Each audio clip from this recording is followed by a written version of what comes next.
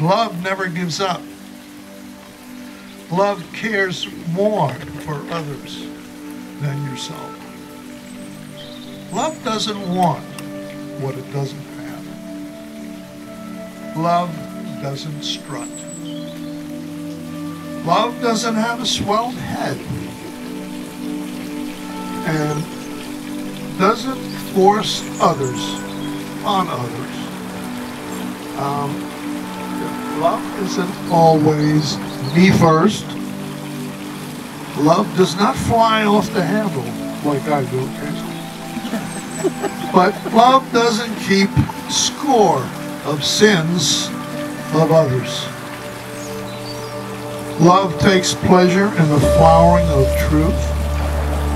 Love puts up with anything. Love always looks out for the best. It never looks back.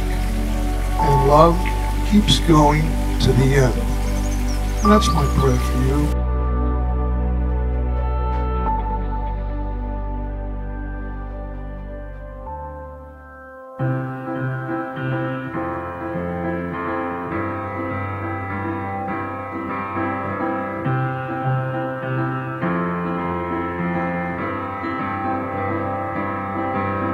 Stay out super late tonight, picking apples, making pies. Put a little something in our lemonade and take it with us.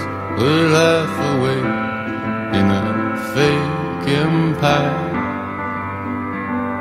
We're half awake in a fake empire.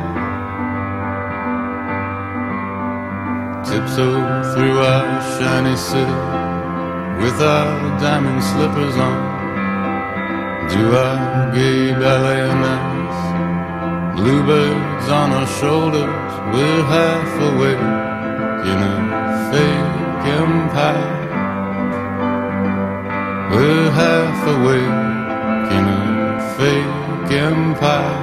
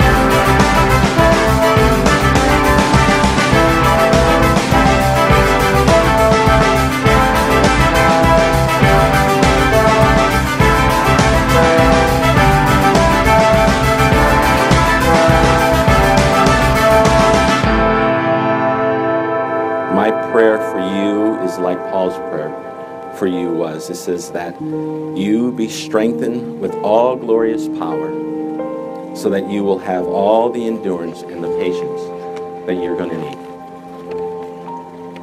So, the time that you have come to after so many years, Ricky, do you take Anna to be your lawfully wedded wife, to have and to hold, to cleave only to her, from this day forward for better or for worse, for richer or poorer, in sickness and in health, and to love and cherish her until death or our Lord's return. I do. And Anna, do you take Ricky to be your lawfully wedded husband, to have and to hold and to cleave only to him from this day forward, for richer or for poorer, for better or for worse, and in sickness and in health, to love, to honor, and to cherish until death or our Lord's return?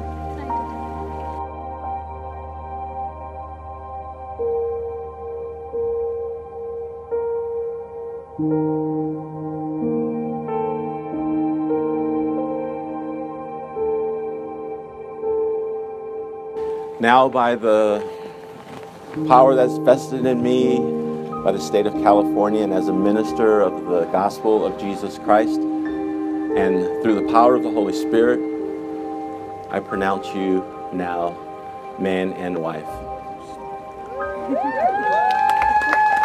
Ricky, you may now kiss your wife, Anna Broadhead, for the first time in your relationship.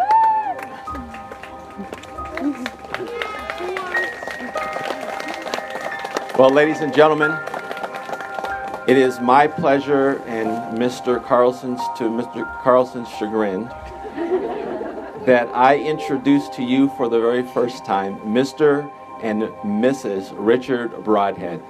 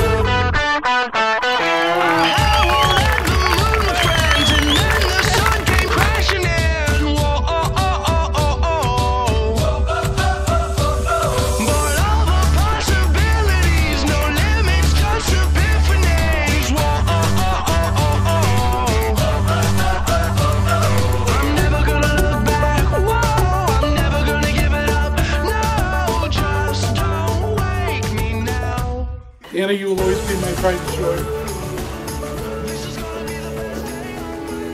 I'm so proud of you as a father. You have no idea. Your mother and I love you very much. Ricky, you're a lucky guy. Um, but so is Anna. So is Anna, because you're going to take care of her.